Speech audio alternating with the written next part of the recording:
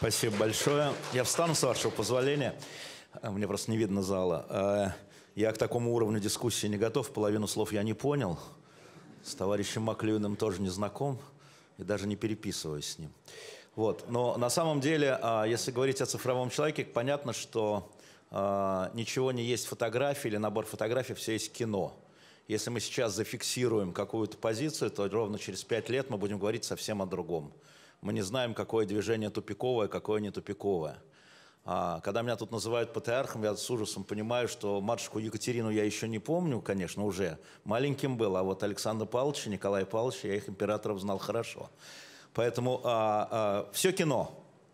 Поэтому несколько тезисов на обсуждение. Первый тезис. У меня есть очень много молодых нейрохирургов знакомых и людей, которые занимаются а, развитием мозга, вот они говорят, что человеческий мозг впервые там, за 5000 лет начинает претерпевать изменения благодаря цифровой революции. Сейчас скажу, как они говорят. Это не я, это они. Молодые ребята, 30-летние, а, лаборатория в Кёльне, лаборатория в Дюссельдорфе. Те, кто занимается биомедициной, знают, что это институты мозга. Они говорят следующее, упрощаю – а, что 5000 лет человеческий мозг искал информацию. Да? Для чего? Для принятия решений.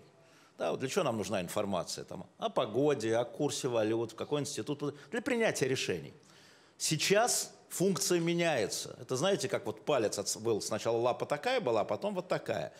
Сейчас мозг должен отбирать информацию. Они долго и упорно пытались мне объяснить, что это совсем другая функция. С точки зрения даже вот там чего, нейроклетки, чего у нас там, я не знаю, серого вещества. То есть на самом деле изменения происходят внутри, первое изменение. Если мы им поверим и поверим, что а, наша способность воспринимать, а, а, даже не искать, а отбирать информацию совсем другое.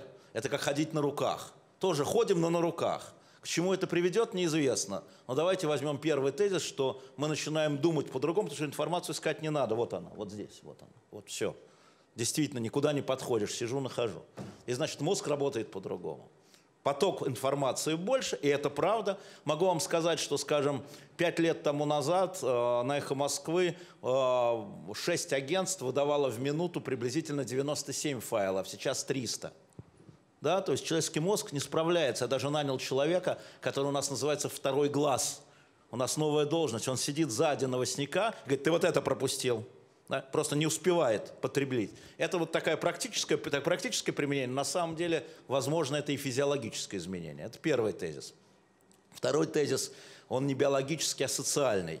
А дело в том, что вот эта вторая революция, я на самом деле в статье сказал, что мы не проспали, а просрали, но они как-то очень интеллигентно, по-моему, обошлись с моими терминами. А вот с э, соцсетями, с развитием разных соцсетей, разнообразных соцсетей, э, мы теряем постоянно право на прависи. Хотим мы это, не хотим. Мы становимся абсолютно социальными. Индивидуально мы становимся социальными. Даже если мы не сидим в соцсетях – Наши друзья, вот сейчас кто-то сфотографировал, кто-то из вас попал, да?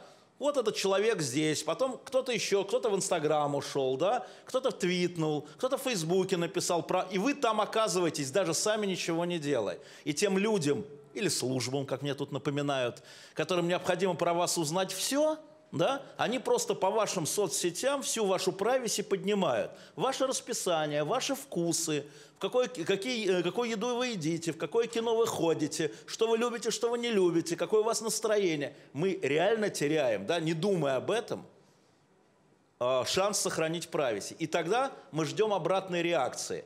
Какая обратная реакция? Как защитить свою прависть, если вы хотите ее защитить? Понятно, создать ложного Венедиктова да, выпускать тепловую ракету, создавать в соцсетях другой, более туманный образ. Да, мне тут рассказывали, что когда очередной донос на меня, значит, поступил начальнику, начальник листанул и сказал, что ну что вы мне на Лешу принесли? Леша пьяница и бабник, это известно. Вот если он перестанет пить и, и, и встречаться, это проблема. Я создал этот образ, естественно, я пью много меньше, ну, про бабника я не буду, там никто не измерит. Но на самом деле создание ложной, картонной перед собой фигуры – это временная попытка сохранить хоть часть своей прависи. И, следовательно, у меня другое поведение, у меня девиантное поведение. Если я сознаю угрозу моей жизни, да, я публичный человек, но возьмите любого не публичного, себя возьмите. И проверьте, что о вас, что ваши друзья, что ваши родные, что ваши знакомые, что ваша общественная жизнь, можете ли вы собрать себя там за месяц, скажем, что, где вы попали, где вы написали. И тогда у вас появится желание закрыться, и вы будете по-другому вести себя в соцсетях. Да? Возникнет другой цифровой человек, второй, третий, четвертый слой.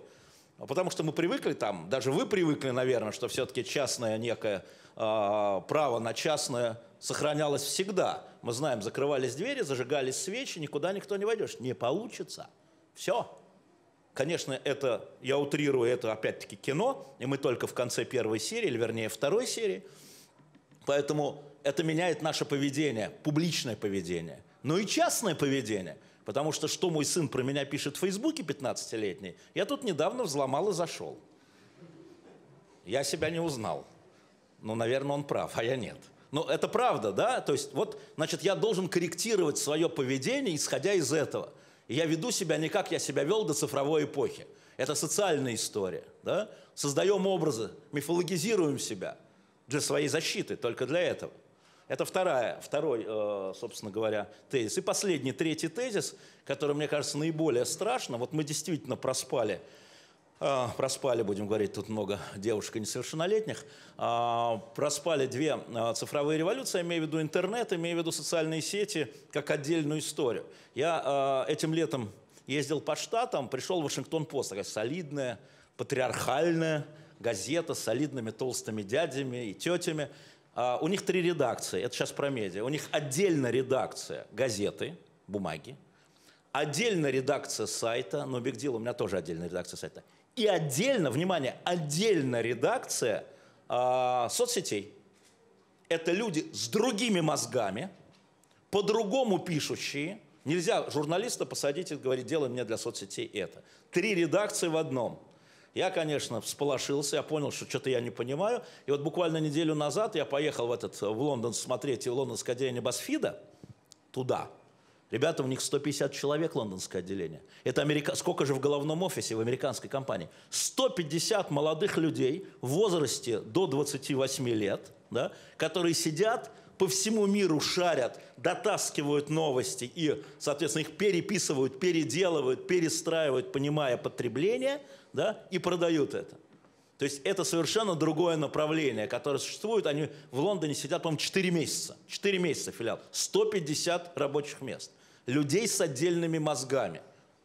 И здесь что очень важно понять, последняя история, что с одной стороны, я не про медиа, с одной стороны, надо менять мозги, потому что мы торгуем информацией, выбираем, торгуем, выбираем, торгуем. И меня не волнуют э, медиа, которые так называемые нетрадиционные. Там есть, как их побороть и победить. А вот меня волнует, как меняется потребитель вы. И вот эти люди, которые там сидят, они постоянно, каждый день говорят, как потребитель, как вы, новые цифровые люди на сегодняшнем этапе будете хавать этот продукт. Потому что завтра вы его будете хавать по-другому. А следующее поколение – моего сына 15-летнего, да, будет хавать по третьему или по четвертому. И это все оказывает обоюдное влияние. Ну, в общем, я счастлив, что я патриарх и не доживу до третьей революции, хотя скорость такая, что боюсь, что и четвертую я смогу проспать. Но я предлагаю поговорить как раз и об индивидуализме, потому что, конечно же, все это, цифровые революции, делают человека более индивидуальным, но с другой стороны, они позволяют одинаково всем иметь доступ к этому. Понимаете? Происходит с одной стороны глобализация, а с другой стороны индивидуализация.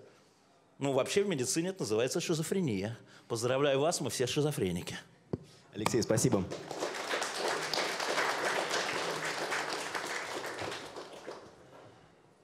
У кого-нибудь, может быть, возник какой-либо вопрос сакраментальный?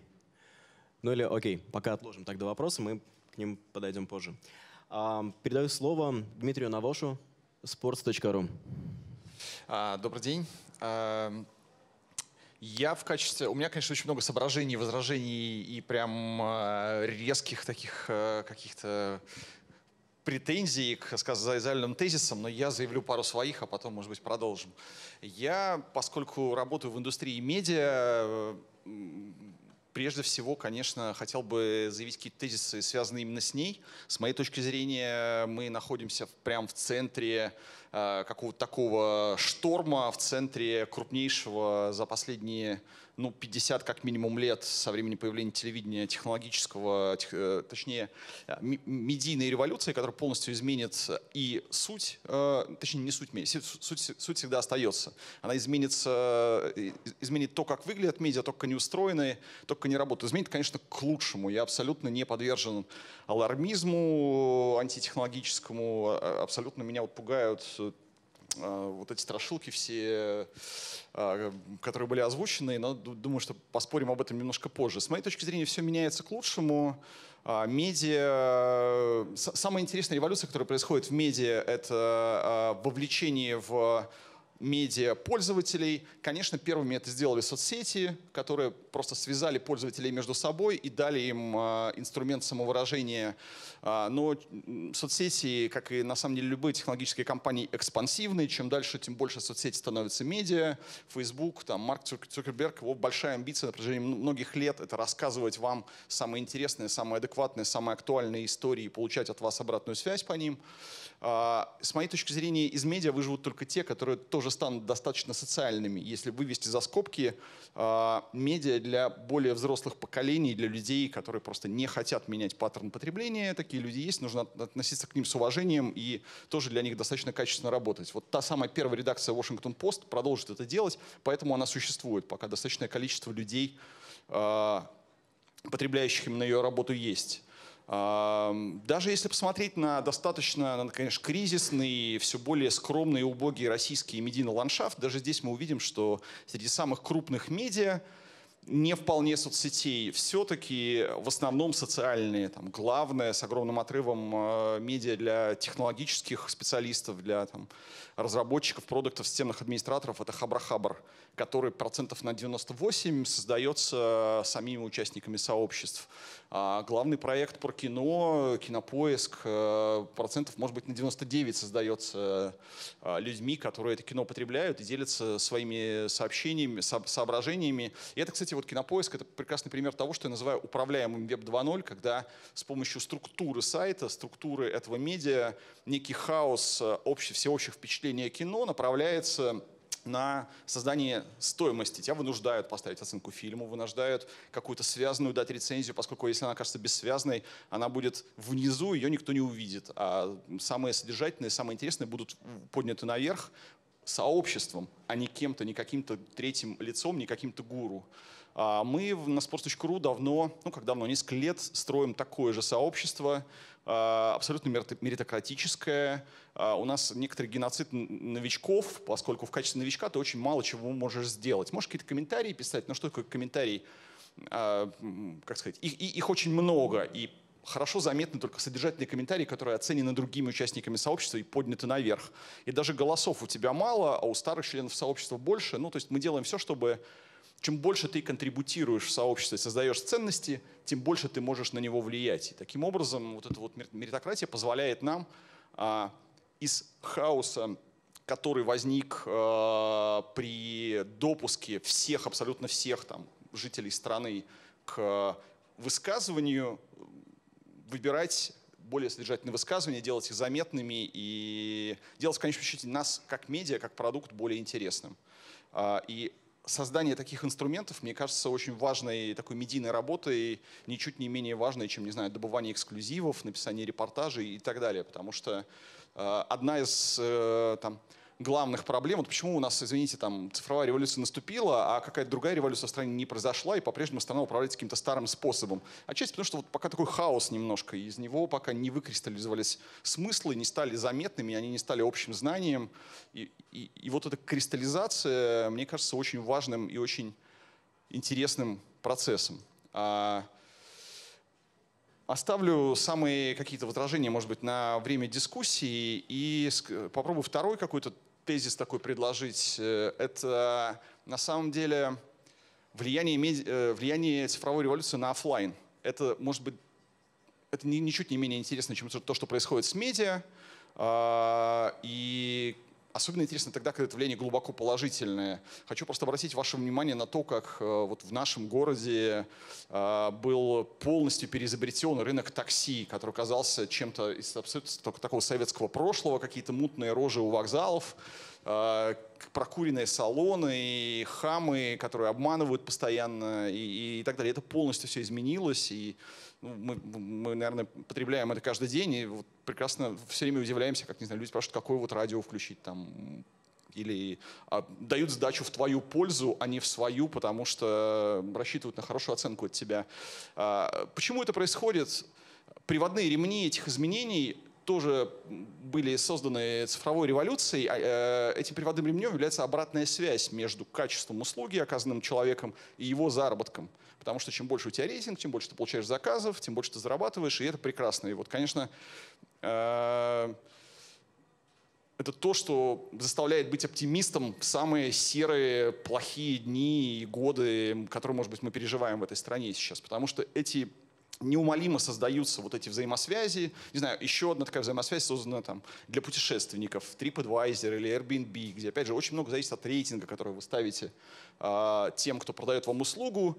И опять же, люди, которые оказывают эту услугу лучше, зарабатывают больше. И, не знаю, Foursquare или другие, там, Yelp в Штатах, которые оценивают рестораны.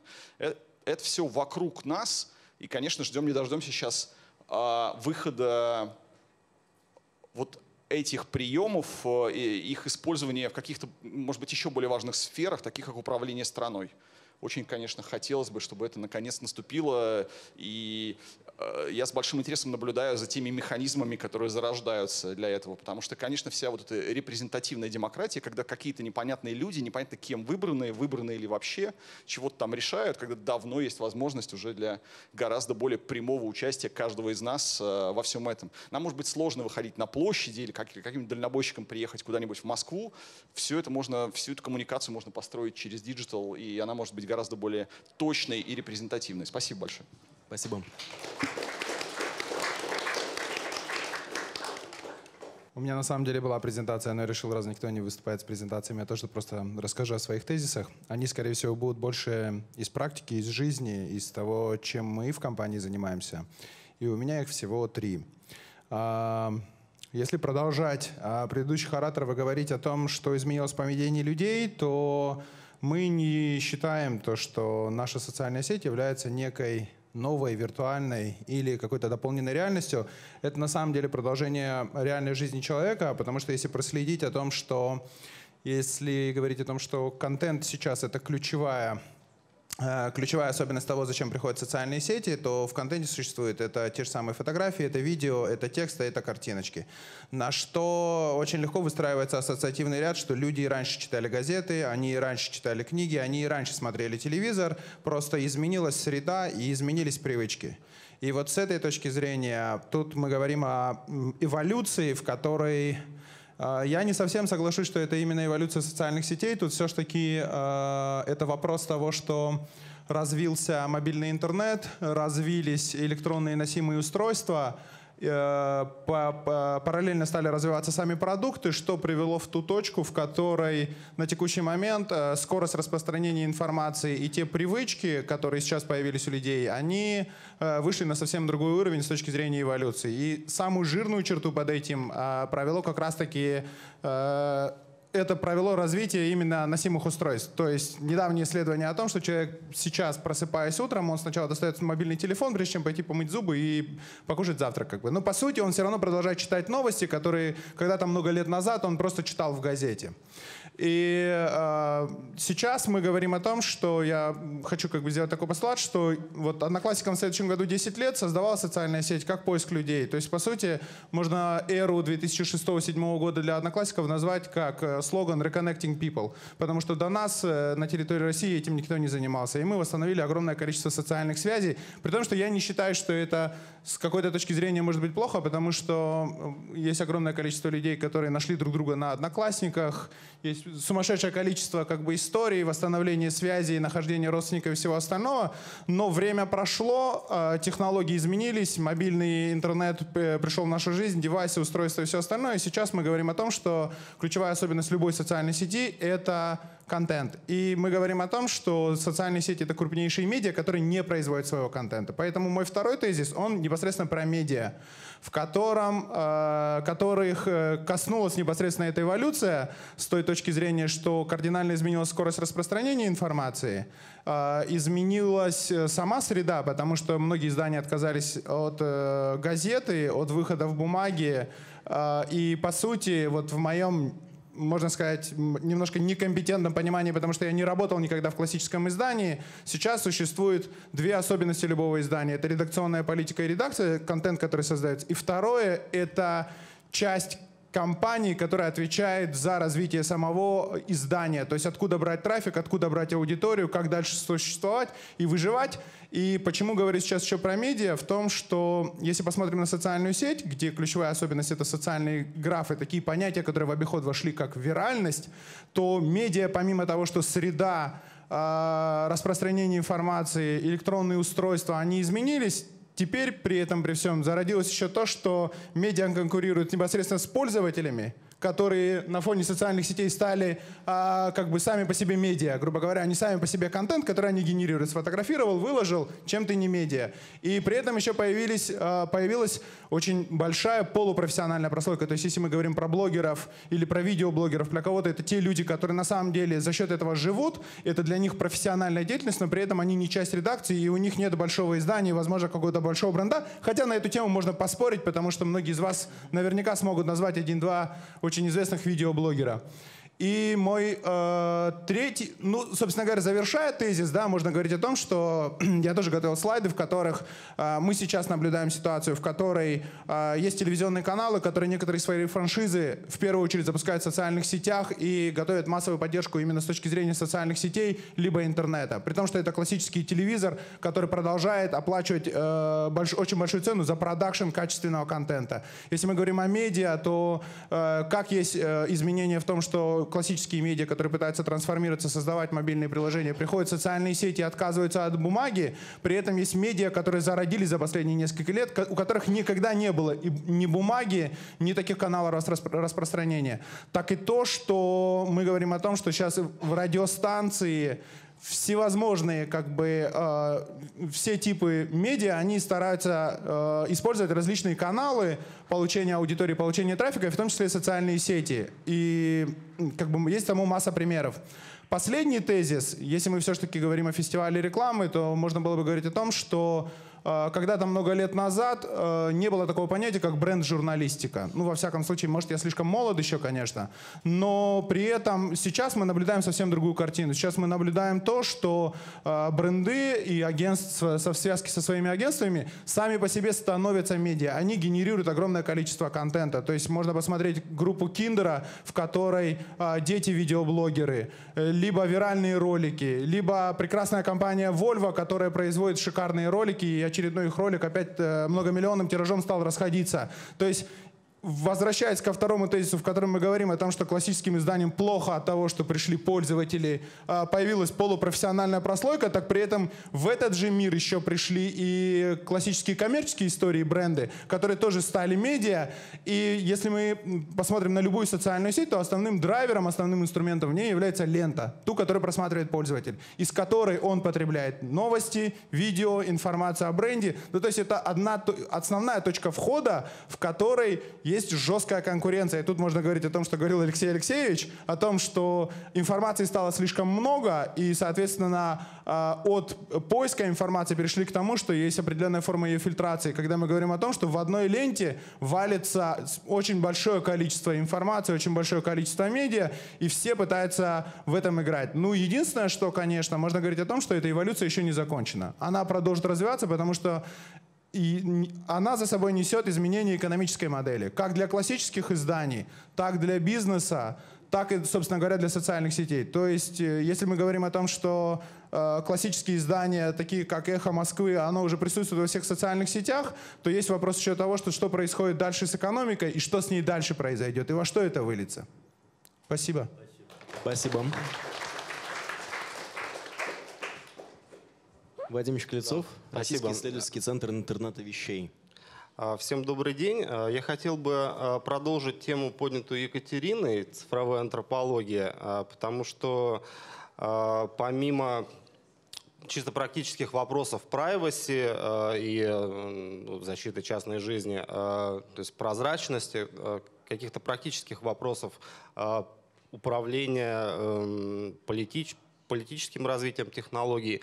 А я как исследователь в области философии и техники, меня больше интересуют а, долгоиграющие, можно даже сказать, космологические перспективы, а, ну, в частности, развития интернета вещей, потому что нужно понимать, что это не просто модный тренд а, умных холодильников или трекеров, да, то есть это новый способ коммуникации, то есть формирование новых способов взаимодействия межсубъектных, то есть между, между нами, а, межобъектных, субъектообъектных. А, а, то есть здесь вот э, такие новые термины, как межмашинная коммуникация, то есть data. То есть об этом я не буду говорить, я буду защищать свой единственный тезис. Но перед этим я просто, может быть, если кто не знаком с термином интернета вещей, скажу, что более адекватный термин интернет всего, то есть там идея очень простая, то что любое событие, а, физическое, да, вплоть до квантовых, а, это поток данных, который можно а, оцифровать. И сейчас интернет вещей еще не существует, то есть он находится в процессе становления, то есть формируются протоколы, стандарты коммуникации, на основе которых ну, философскими терминами формируется некая новая антология. Так вот, мой тезис заключается в том, то есть ну, последних лет, может быть, э, то, что будущее развитие интернета вещей, оно усилит и без того уже существующий тренд, тенденцию стимулирования или какой-то ревитализации мифопоэтического и архаического сознания. Я сейчас попробую защитить э, этот термин, у меня будет в тезисах много непонятных слов. Вот развитие так называемых киберфизических систем, э, оно а, каким образом а, стимулирует вот эту архаику, да, то есть а, некое синкретическое мышление мифопоэтическое, которое было в древности. То есть, соответственно, Возможность коммуницировать с помощью фотографий, с помощью видео, с помощью смайликов и так далее. То есть это только первый шаг. То есть мы переходим к некому, к невербальным несловесным, не символьным коммуникациям, основанным на потоках данных. То есть, собственно говоря, в будущем будет возможность непосредственных нейро компьютерных интерфейсов и нейро-нейроинтерфейсов, может быть, слышали о нейронете так называемом. Есть, соответственно, все это в купе с усиленным использованием GPS-трекинга, картографических сервисов. Все это стимулирует пространственно-образное мышление, которое как раз и присуще архаике. Далее, новоприобретенная способность вот вещей, артефактов запоминать с помощью штрих-кодов, QR-кодов, с помощью RFID, медок. То есть, ну, можно сказать, что в кавычках вещи учатся говорить. А, вещи учатся а, за счет сенсоров, за счет доступности беспроводных сенсорных сетей, а, ну, образно говоря, чувствовать. И с помощью всепроникающего компьютинга, с помощью удешевления встраивания в артефакты элементов ну, процессинга, можно сказать, информации, то есть вещи учатся думать. Вот все эти тенденции, они как раз отсылают к анимизму, так называемому. То есть вещи становятся живыми, и, соответственно, наши предки тоже считали э, предметы живыми, но только мы переходим на какой-то новый уровень. А, далее, э, новый уровень удаленной связанности, удаленной э, возможности так называемого коннекционизма, а, оно стимулирует развитие новых, новых форм магии.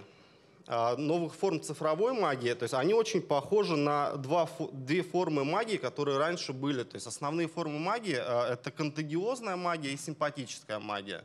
То есть контагиозная по соприкосновению, симпатическая а, по, по сходству. Да. И, соответственно, я просто Э, постарайтесь отследить ход мысли. То есть вот эти два вида магии, они соответствуют двум формам, двум основным механизмам мышления. Метафоре и метонимии. А вот, соответственно, в разумных средах, так называемых, в разумном городе, в умном доме и так далее, то есть мы имеем дело уже с некой объектной метафорой, то есть межобъектной метафорой, то есть и с новой формой магии.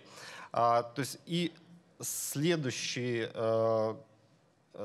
следующее подтверждение тезиса. То есть мы имеем дело с, со сплавлением виртуальной реальности с физическим миром. То есть у нас формируется некая гибридная реальность. Не физическая, не виртуальная, а именно гибридная реальность.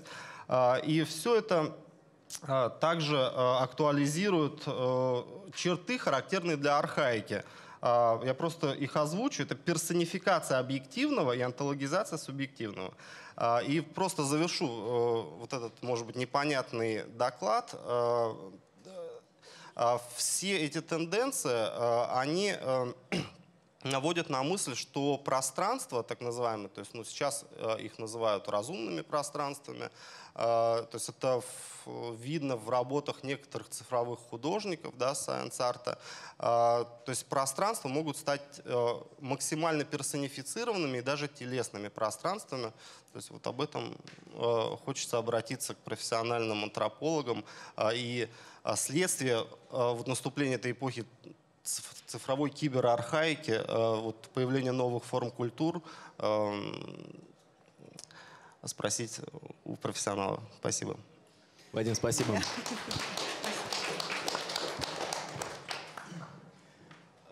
Ну, на самом деле, да, все мы слышали какие-то вопросы по ходу даже из зала на предмет терминов после выступления Вадима, да и на самом деле другие выступления в частности. Поскольку не так давно с своим коллегом Дмитрием, Дмитрием Соловьевым из «Радости понимания», это исследовательское агентство, мы сделали так в режиме выходного дня проект, который называется «Цифровой словарь», а, которым, в принципе, решали очень простую задачу дать какие-то концепции и слова, которые помогут нам ну, лучше взаимодействовать с миром. Мне кажется, а, когда мы слышим Э, выступления, читаем какие-то интеллектуальные книги, понимаем, что, черт возьми, сколько еще на самом деле просто даже в русском, английском, литовском, любом другом языке незнакомых для нас слов, но которые помогают описать реальность. Наверное, стоит с этим тоже работать. Спасибо большое. Мы сейчас перейдем дальше к части дискуссии. И я бы хотел начать с вот такого момента. А, условно, внимание вообще к теме, которой мы коснулись сегодня, и сообщество вокруг этой темы – на самом деле, некоторые спикеры уже сегодня заметили, что оно совершенно разное. С одной стороны, у BuzzFeed может быть за 4 месяца уже 150 с лишним сотрудников в Лондоне, а у кого-то еще и понимание того, что на самом деле страница в Фейсбуке полезна. И так далее, и так далее. То есть здесь на уровне медиа можно продолжать этот список до бесконечности. Но интересно другое. Интересно то, что э, в ряде мест нашего мира есть такие сообщества, которые к теме обращаются с совершенно разных углов, и многие как раз-таки с точки зрения гуманизма, гуманитарных наук.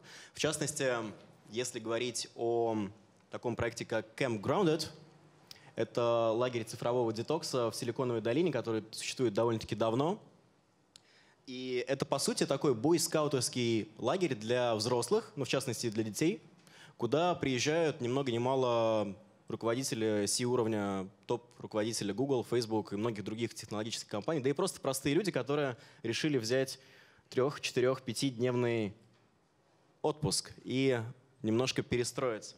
На самом деле там а, есть вот такие пакеты, но это на самом деле не оттуда, но идея абсолютно аналогичная. Вот я даже сейчас спикером передам их. А в начале такого лагеря, ну и, честно говоря, здесь еще есть некоторое количество. Если кому-то интересно, можете смело подойти и вот здесь их взять для себя. Ну или можете там попередавать вперед, а, назад. Так вот, мысль в том, что в самом начале люди просто складывают туда все, что у них есть, и вообще придумывают себе новое имя. Ну, просто какой-нибудь. Например, знаете, у меня а, есть такое развлечение дурацкое совершенно в Старбаксов. А, я представляюсь каким-нибудь именем. Поскольку я оригинальный из Литвы, я представляюсь каким-нибудь дурацким литовским именем, например, Альгердас. И потом пытаюсь дождаться, а как же это будет звучать? Кофе-латте для вот это вот все. Ну. Это очень интересно. Это к вопросу, о чем уже сегодня говорили, как, где у нас идентичность начинается, заканчивается, продолжается, и вообще, есть ли сейчас, нужно ли пытаться как-то разделить, или скорее нужно осмыслить и просто найти какое-то, собственно, более комплексное отношение. Здесь небольшое э, видео, надеюсь, оно у нас сработает, как раз-таки о том, что происходит в этом лагере. Hey there. in the air through the trees.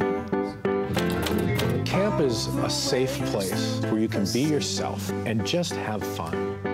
It's a digital detox. No cell phones, no computers, no cameras. You were completely off the grid. It was fun to just be free.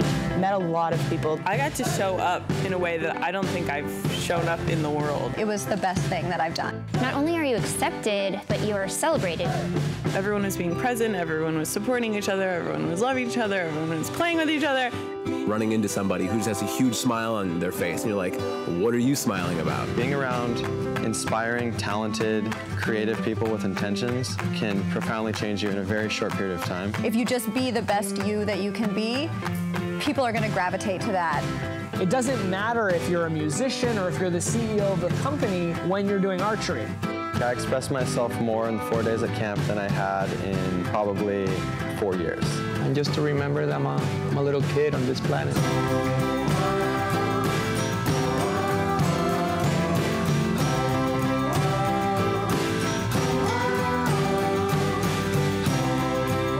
Ну, коротко говоря, это можно до бесконечности смотреть. И, честно говоря, рекомендую почитать, посмотреть какие-то статьи э, об этом мероприятии, которое уже довольно-таки давно проходит.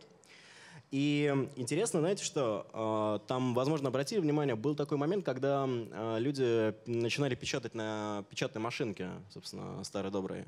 И дело в том, что там есть такое место, когда, ну вот представьте, вот этот наш стол, и на нем стоят печатные машинки, а там за нами лес. Ну, в принципе, ничего, то есть открытая площадка и дальше лес. И люди, люди просто получают очень простое задание. Они им говорят, э, там есть один лист бумаги, вы можете написать вот все, что вы сейчас будете думать, собственно, о чем вы сейчас будете думать. И на самом деле огромное количество людей там после эти интервью есть в сети, можно их посмотреть, э, делятся ну, такими своими, наверное, проблемами в какой-то степени, а некоторые, наоборот, воодушевлением по тому поводу, что это было крайне для них необычно. Печатать что-то, не имея ну, рядом открытых ссылок, исходя из которых они что-то там для себя придумывают, или открытых книг, просто перед ними лес, и как-то это происходит. Другой интересный момент конференция Summit Wisdom 2.0, которая проходит с 2010 года в Калифорнии, когда впервые этот саммит собрал 350 человек, которые представляли, опять же, технологические компании, специалистов из HR-департаментов, из маркетинг-департаментов разных компаний, брендов в частности. Они собрались как раз-таки поговорить о вот этой конвергенции технологий, человечности. И этот саммит проходит каждый год. В этом году они собрали уже две с половиной тысячи человек на него.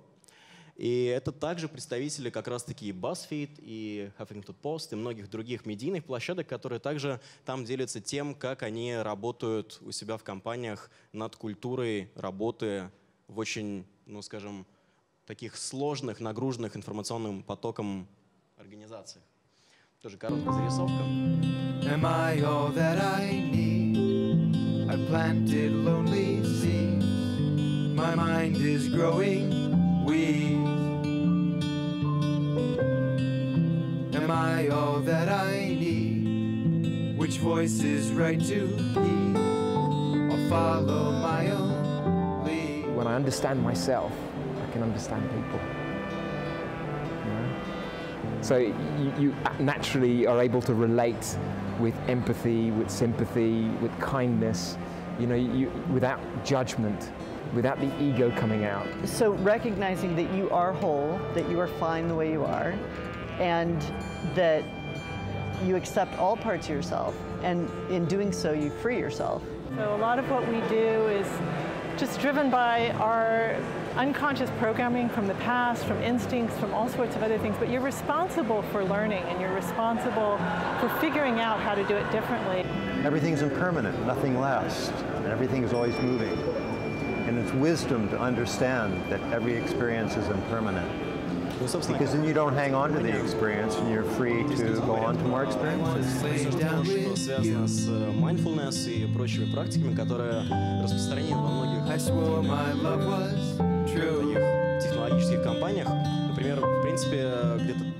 Назад, а, три года назад slot.ru вместе с нами проводил такой digital detox. По вот этим всем методикам, которые они там используют, которые мы посмотрели. Собственно, вопрос здесь на самом деле у меня очень простой будет э, к спикерам, ко всем собравшимся.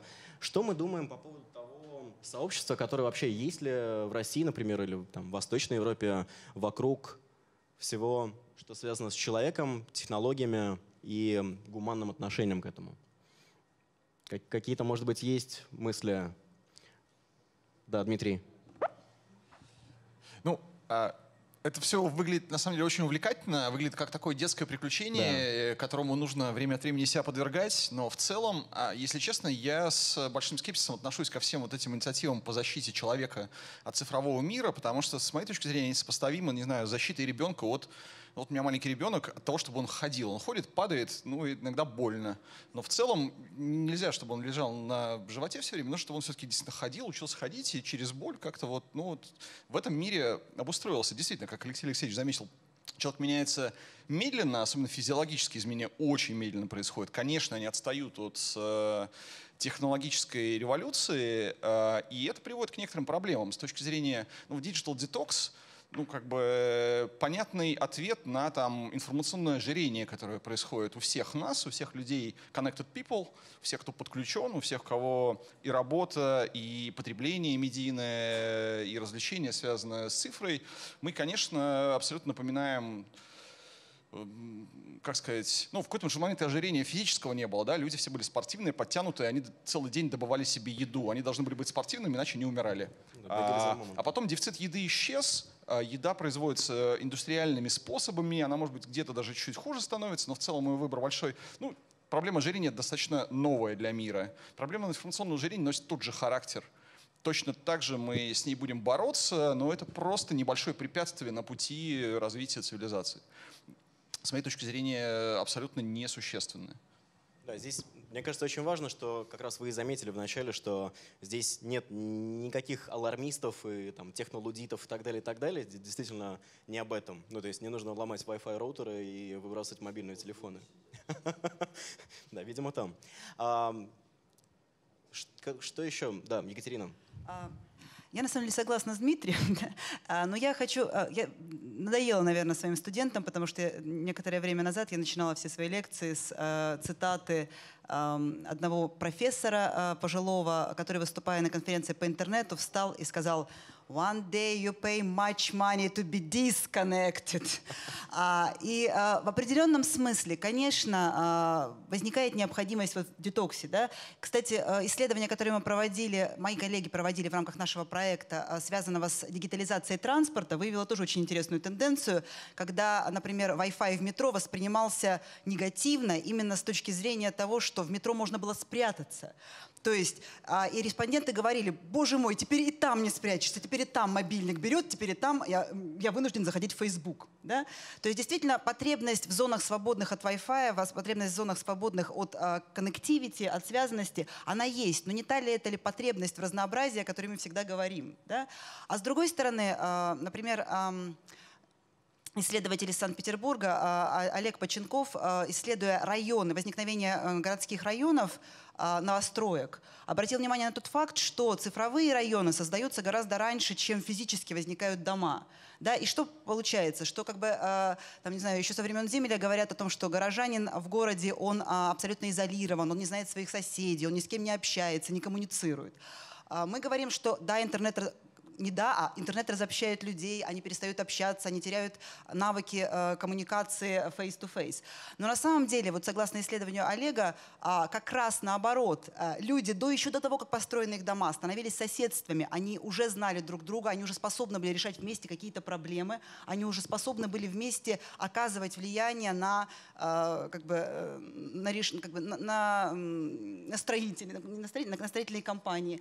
То есть они фактически создавали, э, оказывались теми сообществами, которые э, той grassroots инициативой, э, которые способны были повлиять на а, решения, которые касались их всех. И в этом смысле как раз первым элементом, который помогал им стать таким сообществом, опять же, оказывалась сеть, сетевая коммуникация. Поэтому мне кажется, что все здесь действительно очень амбивалентно. Знаете, вот эта ручка тоже опасна. Да? То есть с ее помощью можно выколоть глаз.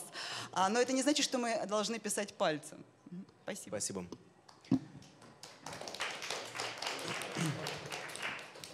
Бом, все Алексей. фигня, по-моему, на самом деле. О чем мы говорим? Да, мы начали говорить, вот, вот это все, о чем мы сейчас говорим, да, залу неинтересно, ползала ушло. Я хотел бы обратить внимание, как бывший школьный учитель, да, я очень хорошо вижу, когда людям становится скучно, потому что мы начали говорить о себе. Не надо говорить о медиа, я слова не сказал о медиа. Мы говорим о том, что все присутствующие в этом зале так или иначе сейчас мутируют. Вот мутируют. Да, действительно, не очень быстро физиологически. Я тут э, с Дмитрием совершенно согласен, а, а чаще не понимая, что они мутируют физиологически. Мы не понимаем. Я не отделяю там, президиум от зала. Но на самом деле поведенчески, социально не только каждый из нас мутирует, но мутирует наше окружение. Вот э, мутирование нашего окружения мы воспринимаем очень болезненно. Да, потому что кто-то ничего-то, кто-то из друзей что-то не так про тебя написал, и это стало публичным. Да? Как реагировать? Ну, он же в своем личном твиттере написал. Я вам напомню эту историю, когда чуть не грохнули эхо, и это обсуждала вся страна, что Саша Плючев написал про сына главы администрации в личном твит-ленте. Личная твит-лента. Воспринимается как медиа, воспринимается как средство массовой информации, пропаганды, агитации, да, и все. Или там э, какой-нибудь человек по имени, предположим, Владимир Мединский написал в своем личном твите, что там типа э, фильм «Марсианин» говно. Да? После этого вдруг у «Марсианина» резко сократилось количество копий показанных. Да, личный твит, не министр, а просто Вова Мединский. Да? Так написал, написал. Кому надо, прочитал. Вот эта история, что на самом деле это далеко уже не личное, а начиналось как личное. Фолловеры кто? Друзья. Потом какие-то незнакомые люди. Да? У меня в Твиттере там полмиллиона более, ну, половина ботов, бог с ними. Да? Ну, 200 тысяч. Я медиа или не медиа? Когда я пишу какую-нибудь ерунду... А все медиа? А? Все медиа. Все медиа, совершенно, абсолютно согласен. И это абсолютно меняет человека, потому что старые традиционные медиа там все-таки как-то отвечали, там, репутации, зако- перед законом, там, финанс. А я медиа, вот если у меня неизвестный ник, я медиа, да, я ничего не отвечаю. Не репутация, нафиг мне, что вы обо мне думаете о каком-то там АВСТ, да, там. Если я не зарабатываю деньги, я просто троллю. Просто получаю удовольствие. Пишу какую-нибудь, а? И вы все начинаете орать, да? А мне удовольствие. Получаю удовольствие. Это социальное поведение, извините за слово социальное, это общее поведение, которое накладывает отпечаток на ваших друзей, на ваших близких, на ваши знакомства и в конечном итоге на принятие вами решений. Поэтому не важно, что у нас с медиа происходит, мы как-нибудь разберемся. А важно, что каждый из вас сам того не зная, попадает в, ладу- в в ловушку публичной жизни, это- будучи и это один в прекрасно. квартире. Да? И это прекрасно, с моей точки Да, да, зрения. да, не, это, Готов слушай, я не понял, почему, я не понял, почему Дима говорит, что это ужастики. Это вот э, совсем даже не ужастики. Для меня это прикольно. Я живу вот после одной революции, после другой революции, после третьей. Это жутко прикольно, но это надо осознавать, какие новые вызовы и угрозы лично для вас это несет. Дмитрий, вот вас- просто осознавать, что вот это ваши риски. Это риски. Это прикольно. Быть прикольным – это тоже риск. Быть смешным – это риск. Быть убийцей – это риск. Быть веселым – это риск. Это риск ваших отношений а, с вашим окружением. Вот что случилось в этом мире самое главное. Каждый шаг – это новый риск. Каждый публичный шаг – это новый вызов. Хорошо, не риск, вызов, а то он опять меня перебьет. Вот. Понимаете? Вот что надо делать. Спасибо. Сознавать. Я возражу, если позволите. Э, Очень коротко постараюсь. Э, Но с моей точки зрения, мы все это делаем абсолютно осознанно, ну, подавляющее большинство осознанно. По крайней мере, нас никто не заставляет. И действительно, человечество, многие его представители отказались от значительного количества privacy, предпочтя просто это не приоритет по сравнению с самореализацией, с э, возможностью там быть частью сообщества, а не держать мысли в себе, а, с, с откликом. Людям нужен отклик на свои мысли. И, и, а, отчасти поэтому, кстати, люди Теперь я иногда буду репликовать. вещи. Ничего не возражаешь. Ничего не возражаешь. Отказались, приняли новую роль, с теми рисками, которые есть. Ничего не возражаю, я согласен абсолютно. Просто люди, я не согласен с тем, что большинство осознает. Я когда осознал, что мой сын меня описывает в Фейсбуке, ну вот просто осо- я не осознавал. Я себя веду дома не так, как на людях, понятно. Так он, он меня описывает в Фейсбуке, какой я настоящий. Я просто про это не думал. Все заинтересовались, как же найти сына. Нет, я В сейчас приду, убью. Не Смотрите, сына, а смотрите, страницу, да? Сейчас мы просто застыли в каком-то таком а, времени, когда у нас часть мира изменилась, вот эта плоскость информационная, а, а, и прекрасно, что мир становится более прозрачным, сложнее делать плохие вещи, про это многие узнают. Вот у меня в моем сообществе обсуждается, не знаю, мой коллега бывший ударил женщину, и все, человек получ- не, как бы, он не получит большое количество работы, например, в этой связи. А, какой-то там, не знаю, там кто-то оказался коррупционером, какой-нибудь, допустим, прокурор. И, а, к сожалению, только вторая часть мира не, не- вторая часть мира не пришла в движение и не возникло вот здесь взаимосвязей от репутации человека в связи с ролью, которую он занимает. А прекрасно, что хотя бы здесь вот эта прозрачность наступает, и ну, делать сложные вещи тяжелее, а делать э, хорошие вещи просто больше мотивации. Я потом твит напишу, буду Это не прекрасно, это по-другому. Прекрасно все. Прекрасно, когда есть прависи.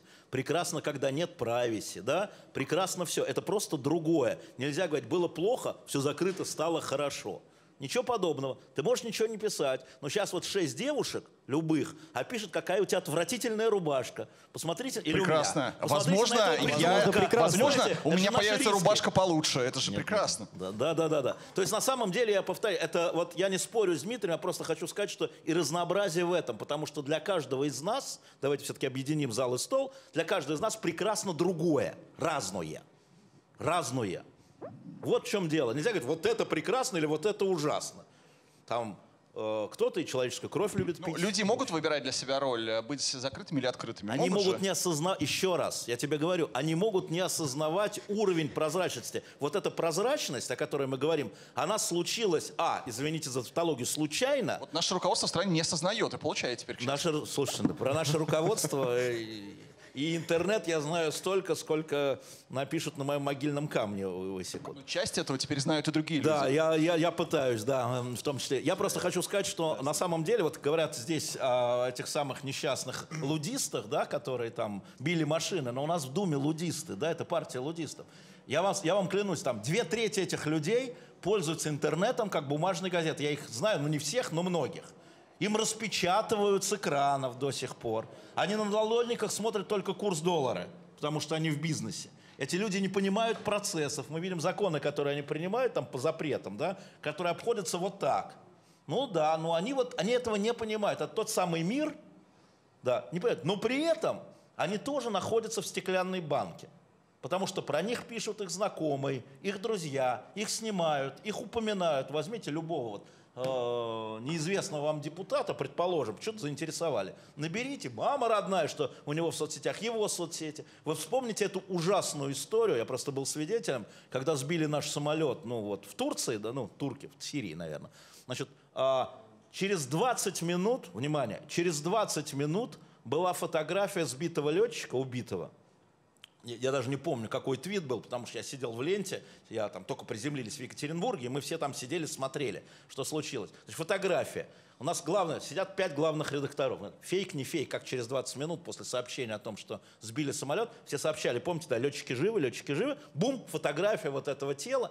И еще через 20 минут его фотография в аэропорту, когда он улетал, да, там кто-то из вот нашли в Фейсбуке или где-то там, выложили, показали, что это один и тот же человек.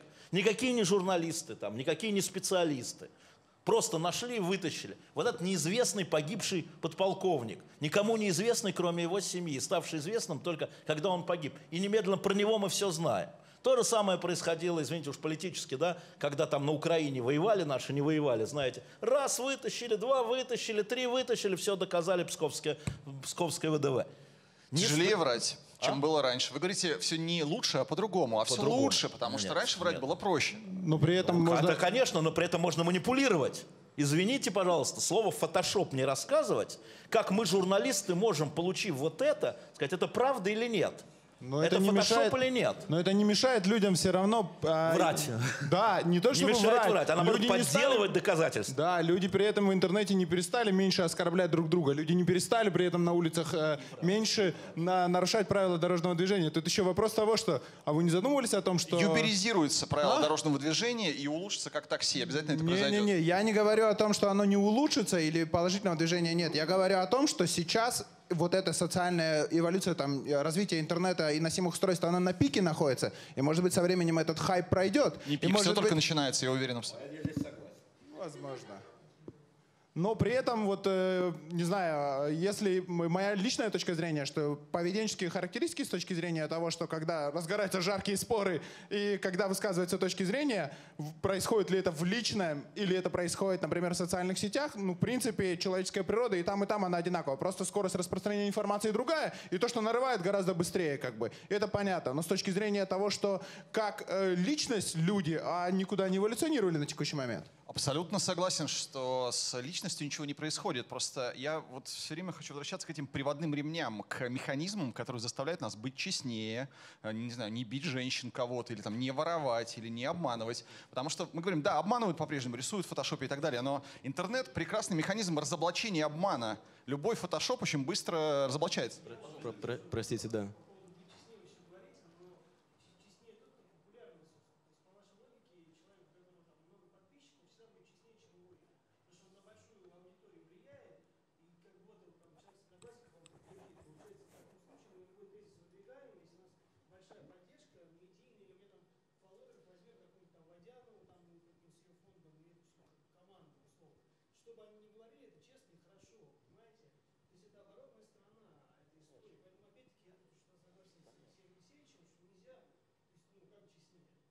Не согласен, просто каждое вранье будет девальвировать ее социальный капитал. Он будет Дим, падать. я приведу другой пример. Я, я согласен, потому что смотрите, это как с изобретением оружия в смысле орудия, да? Вот изобрели пулемет. Пулемет можно э, для того, чтобы защищать людей, можно, чтобы убивать людей, да? Он пуле- Это обоюдоострое оружие. Здесь возникла возможность сделать мир более кристальным, прозрачным и чистым, и одновременно, параллельно с этим, больше манипулировать и врать больше манипулировать и врать. И люди, которые действительно обладают а, огромным количеством внимания, скажем так, они с большим... Вот я, например, в Твиттере, я точно манипулирую своему полумиллиона.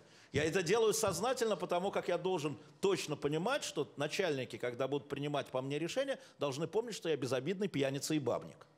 Понимаете? Конечно, это выстроенная роль. Конечно, это нарисованная роль. Безусловно, это моя защита. А, я, можно сказать, что я вру? Ваш Можно. сын расскажет об вас, да, как вы Ну, с- нет, ну насчет пьяницы он Кстати бутылки говоря, видит, возможно, насчет возможно бабника, я кто-то думаю, уже нашел нет. сына, нет? Ведь сейчас же сидят и ищут, наверное, нет? Может быть, кому-то уже удалось? Я сейчас напишу ему, чтобы стер все. Иначе чизбургер.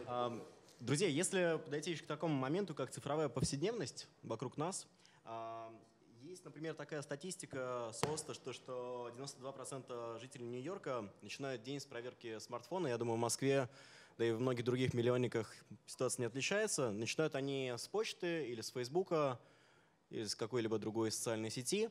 Ам, Мне интересно, ам, как день начинается, как выглядит повседневность наших гостей?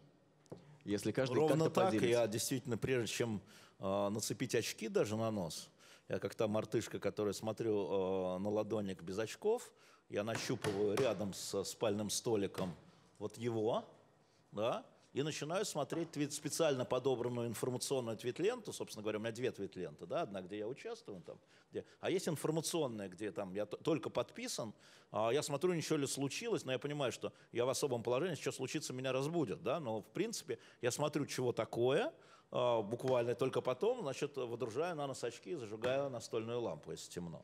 Я так начинаю день. Я думаю, сложно будет найти ко- ко- кого-то отличного.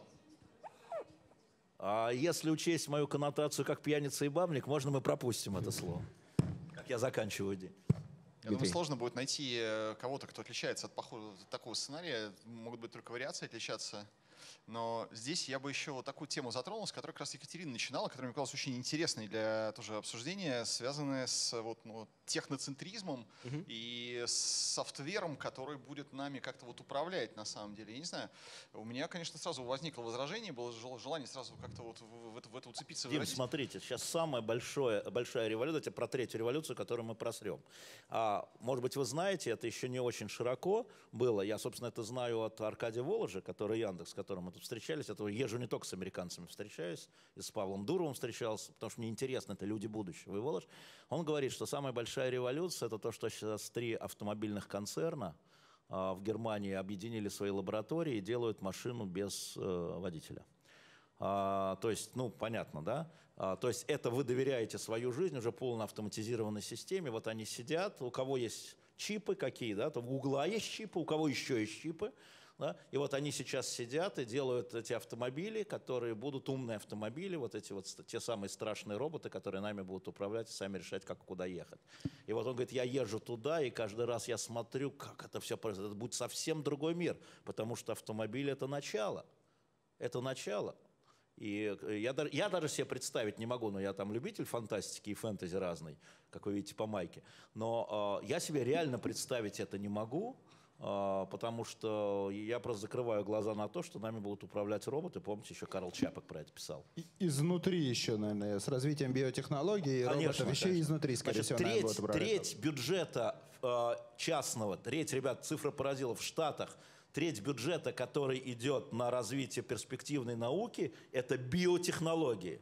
Биомедицина, биотехнологии. Треть всех Ну, тратят, частных тратят, вливаний в тра- науку. тратят люди эти деньги или роботы? Люди-то тратят. в Люди, люди. что Нет, я люди- говорю о том, что биотехнологии. Я просто хотел бы Арсена поддержать. Это второе направление, это сращивание.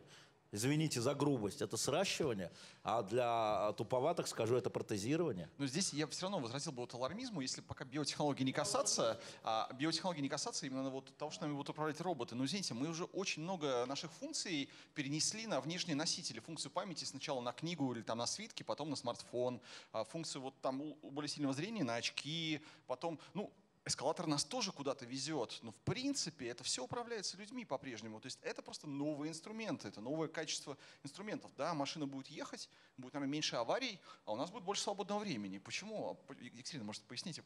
Вот у вас немножко тревожные нотки звучат. Нет, я на самом деле амбивалентно на все это смотрю. И мне, я действительно не вижу никаких, никакой разницы. Да? То есть любая технология имеет свою оборотную сторону. Да? То есть, еще раз говорю, в ней есть опасность. Я тут не вижу как бы, а, оснований для истерии по поводу цифровых технологий. Зато вижу много преимуществ. В частности, поскольку а, Homo sapiens — это существо коммуницирующее, вот с точки зрения разнообразия коммуникации, возможности выразить себя в коммуникации, мне кажется, что цифровые технологии действительно предоставляют неведомые до сих пор возможности.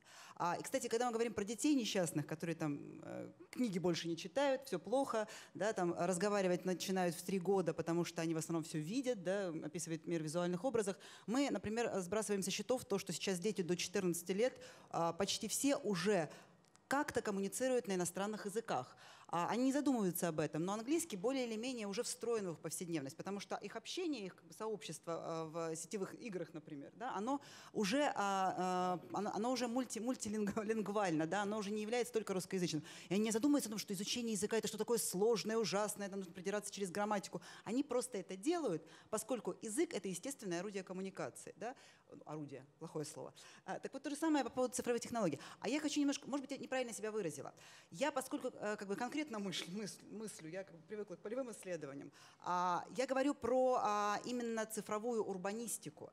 Дело в том, что когда мы говорим о том, что а, дигитализация проникает в ткань города, первый как бы основной а, способ а, с этим работать и в частности а, выстраивать предложения для планировщиков состоит в том, что, ого, есть большие данные, теперь мы сейчас весь город разметим на зоны, раскрасим их разным цветом, построим множество диаграмм и будем планировать город новый, как бы исходя вот из этих данных. Я именно это имела в виду. То есть мне кажется, что в этом смысле и планировщикам, и архитекторам нужно спускаться на уровень ниже и смотреть на практики горожан, которые тоже постоянно связанные, которые тоже находятся Они же постоянно... описываются большими данными практики. А, вот не совсем, как они что ходят, ки- сколько их ездит. Там, да, но. Китчин говорит, что это скорее описываются интенции, да, потому что практики всегда меняются. То есть, условно говоря, а, как бы а, вот большие данные, они слишком много индивидуальных проявлений а, просто выводят за рамки, потому что их очень сложно посчитать. Да? В этом смысле такая мат- математизация, например, дигитализации города, жизни, жизни горожанина. А что происходит? То есть, условно говоря, мы математизируем, не монетизи- математизируем, потом монетизируем, кстати, да?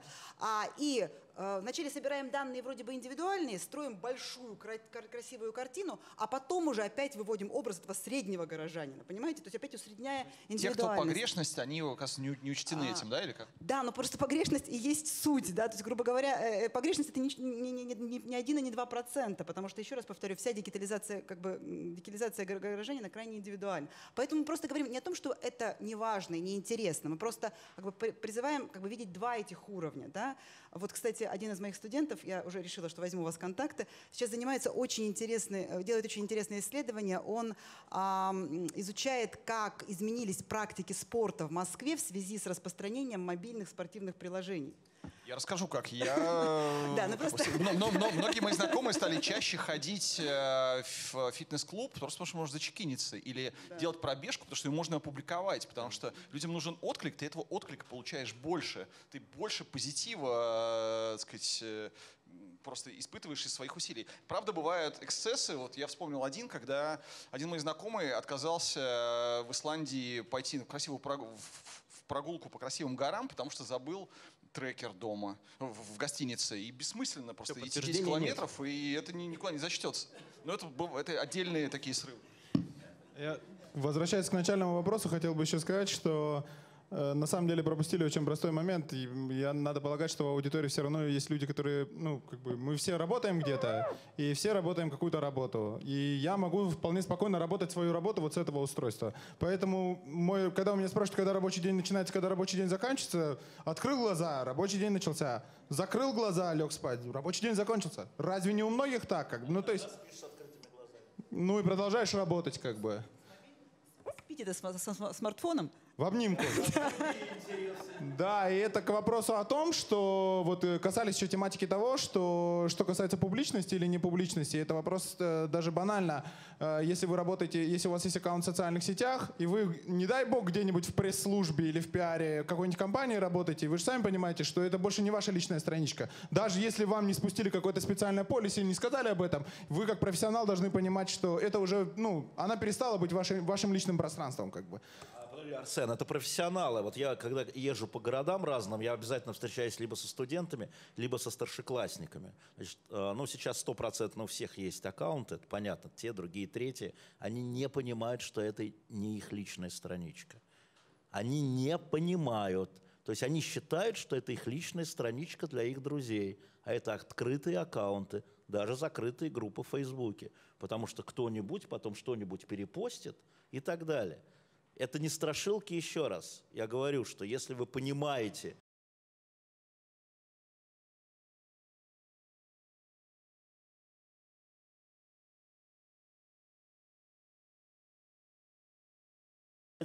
на- накручивание, репосты, ответы, оскорбления. Оскорбления. Вы что, не знаете, что по статистике самоубийств у нас резко возросло у молодежи именно из-за а, дебатов, назовем это так, в соцсети? Я говорю, я своего мелкого 15-летнего приучу не, не- не реагировать резко на соцсеть. Неизвестные люди с неизвестными никами тебя начинают травить и оскор... травить. Это, это не, в России, не только в России. да? Ну, этому даже отдельный это проект был имеется, посвящен, это имеется деви- опять девиантное поведение, да? И они начинают это воспри- начиналось все как игрушка для своих друзей, а потом опа и все. Они не понимают, повторяю, я возражаю тебе, Арсен, да? Вот пресс-служба понимает, я публичный человек понимаю, поэтому манипулирую. А масса людей для своих это делает, для своих друзей постит картинки в Инстаграме. А потом получает. Посмотрите э, в Инстаграме, как люди, незнакомые вам, если у вас есть, например, пишут комментарии там, по поводу ваших ног, девочки, по поводу ваших причесок, ваших платьев, как это отражается. Кто-то может кажется, про это выкинуть, а кто-то не может. Я видел, вы поднимали.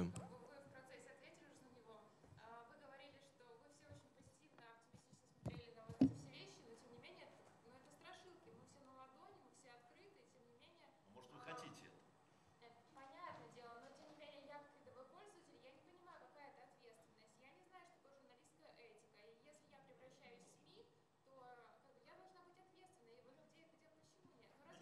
Вы не должны быть, вы вообще запомните, вообще, вы все никому ничего не должны. Запомните. И, собственно, свою должность, как индивидуальное лицо, да, собственно, свою должность вы сами определяете. Свои красные линии я буду определять, подписанные на ваш Инстаграм, а вы будете определять, что вы туда постите и как вы мне отвечаете. Никому вы ничего не должны. Снимите с себя этот груз. Коллеги, ну, это вопрос медиаграмотности, да, то есть, э, дис- но это, это и есть социальное научение, понимаете, маленький ребенок тоже не знает, что пускать слюни на публике невежливо, да, то есть вы- это вопрос просто научения, просто действительно нам теперь для социального общения нужны другие навыки, и на самом деле курсы по медиаграмотности, вот мои коллеги на факультете проводят уже не первый год конференцию, курсы по медиаграмотности входят в программу средней школы цивилизованных стран, да, поэтому тут вопрос э, действительно, а, ну, да, действительно социальность меняется, да, наше поведение меняется, правила его меняются, ритуалы, этикет. Но а, как бы это касается всего, в том числе и одежды, например. Да? Того, красим или не красим мы волосы, как мы говорим, как, как- какие слова мы используем, перебиваем ли мы друг друга и так далее и тому подобное. То есть а, тут нет какой-то специальной медийной особенности, которая была бы особенно опасна. Да? Но как бы она есть, она есть в том смысле, что а, медиа притворяются реальностью. Вы знаете, а, была такая, есть такая замечательная статья Андре Базена, называется по поводу фильма «О чем мы сражаемся». Фильм снят в 1945 году. Он полностью э, построен а, из, он просто полностью смонтирован из хроник, которые были сняты на полях Второй мировой войны. А, и Андрей Базен пишет об этом фильме как о очень опасном. Почему? Потому что он кажется абсолютно реальным. Да? То есть кажется, что все, что происходит на экране, это отражение реальности. А на самом деле с помощью монтажа и закадрового комментария а, э, зрителю внушают совершенно определенную мысль. Да? То есть фактически мы говорим, ну да, действительно, медиа из-за своего эффекта реальности обладают некими дополнительными опасностями. Но мы же тоже приспосабливаемся к эт- к этому. Человек достаточно быстро приспосабливается. И плюс система научения. То есть действительно социальное научение должно несколько меняться. Должна быть гигиена, должна быть экология э, цифровой среды. А, но а, как бы, мне все-таки кажется, что запреты в этой области гораздо опаснее, чем ошибки. Да? Вот как бы то, что, то, с чем мы сейчас сталкиваемся все-таки в России, это запреты, да? как бы, э, такая, такое желание очень сильно изменить, э, как бы, унифицировать и ограничить коммуникацию в сетевой среде. Вот это, мне кажется, гораздо более опасным для общества, чем а, как бы, ошибки, которые совершают неопытные пользователи. Я сначала хотел с вами не согласиться, теперь я уже не знаю, с вами соглашаться я буду или не соглашаться я буду, да?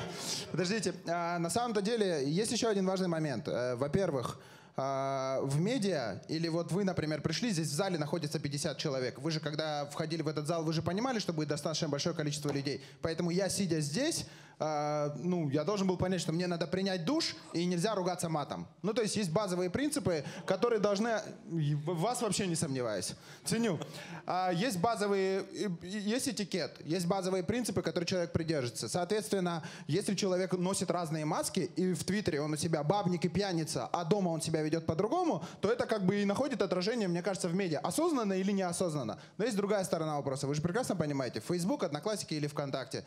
Там есть модераторы, там есть определенная политика. А, есть люди, которые его делают, и которые создают этот продукт, исходя из того, какие, какие принципы в них заложены сами. Б, есть люди, которые модерируют этот контент. Соответственно, если я попытаюсь голым сфотографироваться или сфотографировать свою какую-то часть, которая не соответствует лицензионному соглашению или базовой этике, ее удалят. Либо есть вопрос того, что если я себя в жизни веду как свинья, и я буду продолжать себя там сви- как свинья вести, но при этом не нарушать лицензионное соглашение, значит, кто я? На это можно получить вполне конкретный ответ. Как бы. То есть с этой точки зрения, мне кажется, что после того, как вот общий хайп пройдет и придет какое-то устаканивание того, что мы как бы понимаем, что мы живем а, во время очень быстрого распространения информации и как бы практически полного тотального отсутствия privacy, оно все потихоньку успокоится. Но даже сейчас все равно можно говорить о том, что кто бы ни носил какую маску, в социальных сетях поведенческие характеристики, они являются прямым отражением того, что происходит с людьми в жизни. Если это не история того, что вы именно медийная или публичная персона,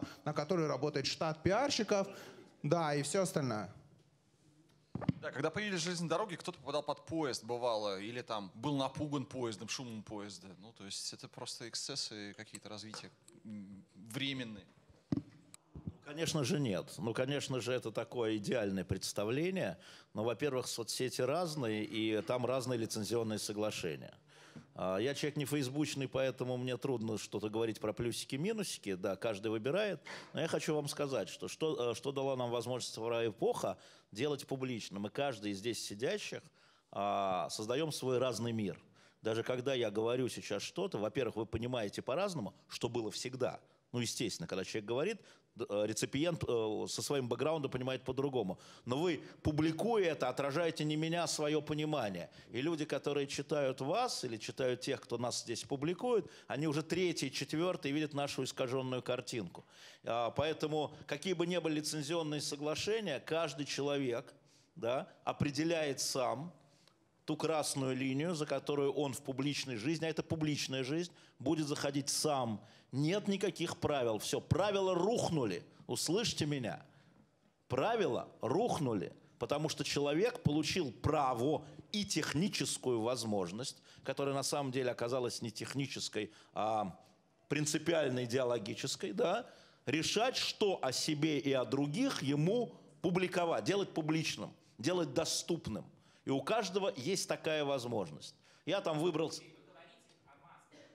Не, я не говорю о масках, ничего подобного. Вот только что девушка, как вас зовут, простите? А? Вот только что Аня говорила о том, что она сама не знает, где эти границы. А ее эм, друзья, скажем, тоже не знают ту Аню, которую они получают в соцсетях. Это вопрос в том, что вы понимаете так, ваша соседка так, Аня так, я так, Арсен так, и все, это разные миры. Поэтому это, это вот публичные люди, вот, да, могут играть. Я ведь когда начинал Твиттер писать, я был наивным, честным всего пять лет назад. Да, и думал, что это вот такое же средство доставки. Я понял, что нет. Что это отличное средство манипулирования. Но я публичный человек, еще раз повторяю. Да? И вот то, о чем говорил Асен, важно разделять публичных людей, которые придумывают себе маски для чего-то, и просто людей, которые в какой-то момент начинают манипулировать для какой-то цели. Вся история. То есть получили права, не умея ездить. Так может не надо учиться ездить по прежним правилам. Поручили возможности. И вот мы сталкиваемся на этой дороге.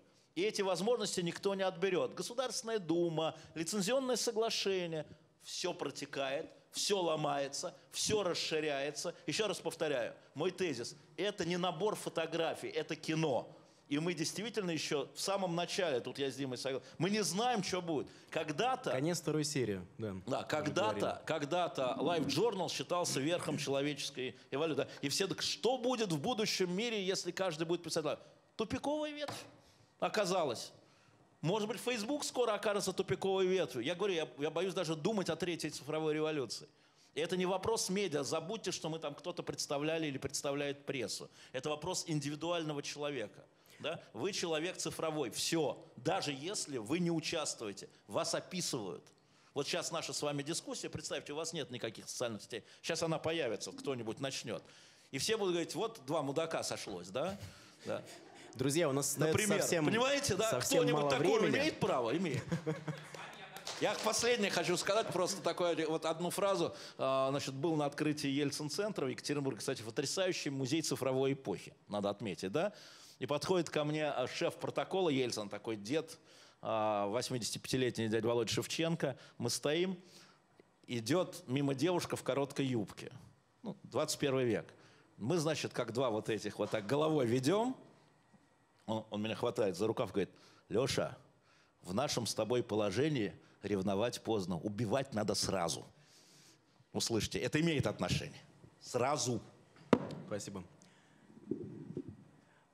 Нас на самом деле осталось еще много вопросов, которые мы не успели затронуть. Один из которых на самом деле это то, что называется интернет-зависимости. Кстати говоря, здесь подготовили такой небольшой тест, который в скором времени еще появится как раз-таки в Фейсбуке. Можно будет зайти на эту ссылку фестиваль.ру 123. Ну и так вот как раз немножко срез понять вообще аудитории, как люди относятся к интернету, можете заполнить, потом результаты получите. Ам, на самом деле, большое спасибо, что сегодня присоединились. Очень было много полемики, наверное, с разных сторон, разные точки зрения. Это мы с Дмитрием еще сегодня не Видимо, она продолжится. Да, и если есть еще какие-то короткие вопросы из зала, то, в принципе, мы можем пару минут позволить себе на них посвятить. Да.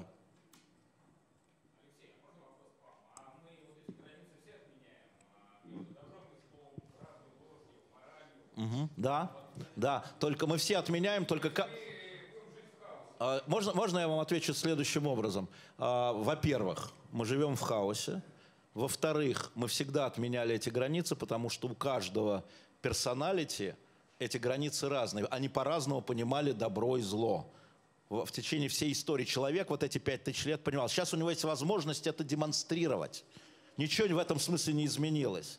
Там, э, мне, мне трудно вам привести какой-нибудь исторический пример, да не эта тема. Но каждый человек в зависимости от своего воспитания и бэкграунда, скажите, можно одновременно любить несколько женщин и клясться им в любви? Вот мораль. А? А как же мусульмане живут женами? Значит, их этика, причем зафиксирована, не, этого не, мож- этого не можете знать. Вы этого знать не можете. Вы этого знать не можете. Но я вам говорю, что эта этика, зафиксированная, да, их пониманием, традициями, но сначала возникла как этика. Можно. И можно ли говорить о том, что это не морально, а морально любить несколько женщин? Не можем, потому что давно были люди, которые считали, что это морально. Есть люди, которые считают, что это аморально. Есть люди, которые вообще э, в виде меня не заморачиваются. Обива- убивать людей. А если вы защищаете собственного ребенка, я вам сейчас нарисую массу таких придуманных сюжетов, вы скажете, да я бы убил за это, если кто-то моего ребенка тронет, какой-нибудь педофил. Убил бы и все. И вы скажете, правильно, я бы убил бы, если бы педофил тронул моего ребенка. Вот вам слово «убивать». Вы сказали слово «убивать». А если у нас на необитаемом острове люди голодные, вот они бросают жребий, чтобы выжить остальным, собой жертвовать. Я вам могу, могу рисовать массу причин. Еще раз говорю, мораль и этика подвижны. Всегда были подвижны. Но что сделала цифровая революция? Почему ваш вопрос отличный? Она из э, морали этики больших групп, да, сначала они основывались на религии, да, на традиции, она теперь стала индивидуальной. То, что я считаю допустимым, да нет универсалей.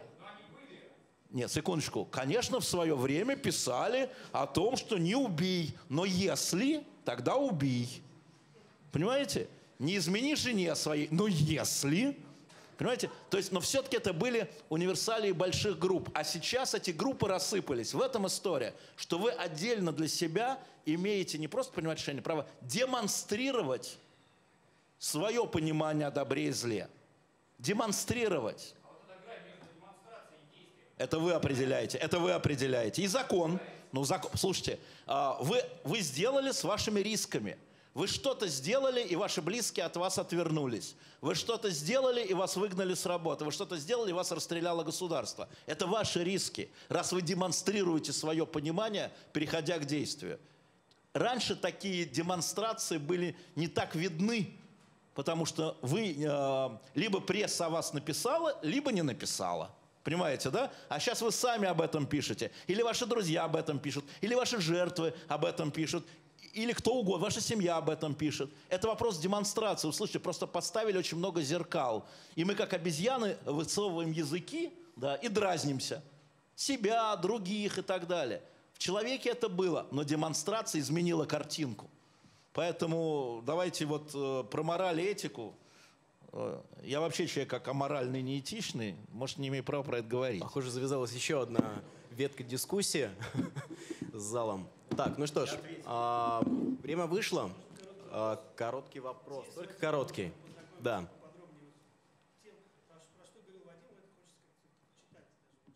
Вадим. В Фейсбук, в Фейсбуке можно познакомиться. да. А я не фейсбучный, не прочитаю. Вадим, а если, там, говоря про какие-то книги и так далее, может быть, ты пару назовешь из того, что... По- По-моему, на Озоне висит еще книжка. А может и нет, я давно не проверял, честно говоря. Ну, статьи, они опубликованы, в сети легко найти достаточно. Хорошо. Большое спасибо. Всего хорошего.